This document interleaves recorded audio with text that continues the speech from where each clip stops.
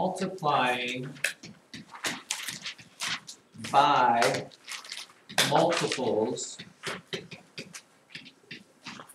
of ten and one hundred. So under multiplication, Yep, this would be under multiplication. Multiplication.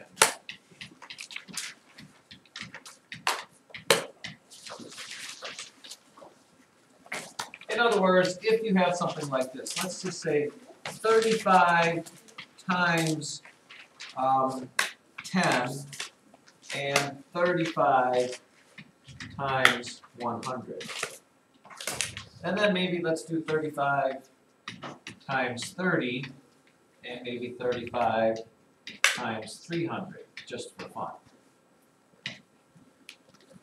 In math, when you see multiplication with multiples of ten or one hundred, it should make you smile because it really makes your life pretty easy.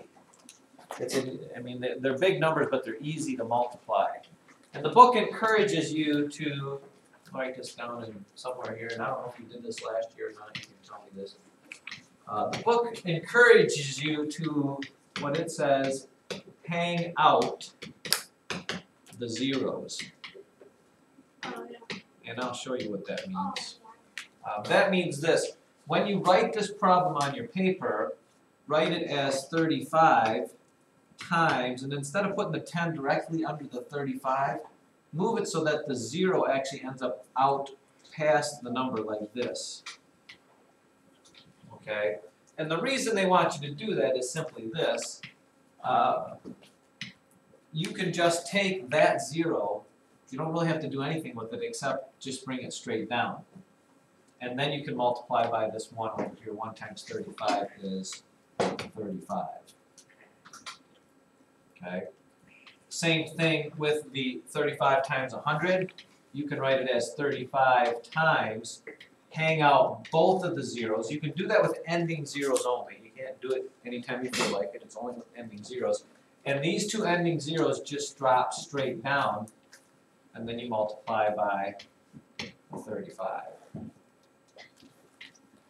Even if it was thirty-five times thirty, you would take the three, hang out that one zero, drop it straight down, and then five times three is 15, 3 times three is nine, plus one is ten. You get a thousand fifty for that answer.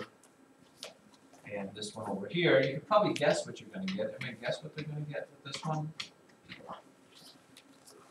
Ryan? Ten thousand five hundred. Exactly. You'll drop your two zeros down.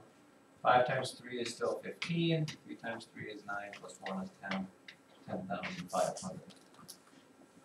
When we get to long multiplication and there's not zeros there, then you have to do a whole lot of work, you gotta keep everything organized, but when there's zeros there, um, it makes your life a lot easier. So let's say I've got, uh, two hundred forty-five times eight hundred.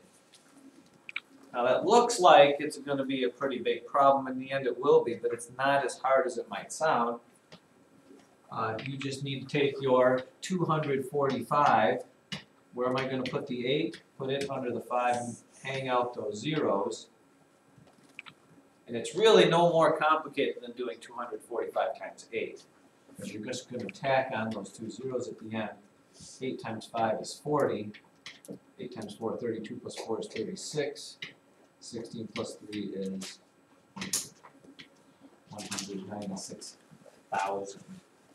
Are you with me on that? Did you do that last year? Is this something not incredibly new?